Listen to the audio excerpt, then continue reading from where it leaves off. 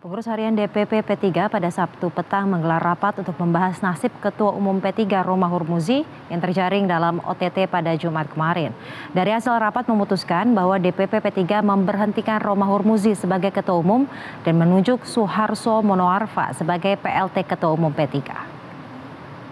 Dalam konferensi pers yang digelar di gedung DPP P3 di Jakarta, pengurus harian P3 menyebut ada tiga poin utama dari hasil rapat yang digelar pengurus P3 sejak Sabtu sore.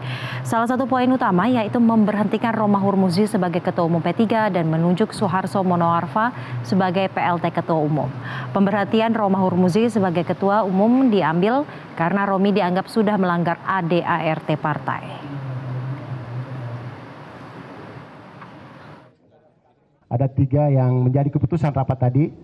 Yang pertama adalah pemberhentian terhadap Insinyur Haji Romah Hurmusi MT berdasarkan anggaran dasar dan anggaran rumah tangga karena beliau terkena kasus. Berhentikan sebagai uh, ketua umum. Yang kedua, kita juga menyepakati pengurus harian bersama majelis yang hadir untuk mengangkat Bapak Suharso Mono Arpa sebagai PLT Ketua Umum yang akan dikukuhkan dalam uh, mukernas yang akan dilaksanakan pada saatnya nanti. Yang ketiga, disepakati juga bahwa insya Allah akan dilaksanakan mukernas berdasarkan hasil keputusan rapat uh, yang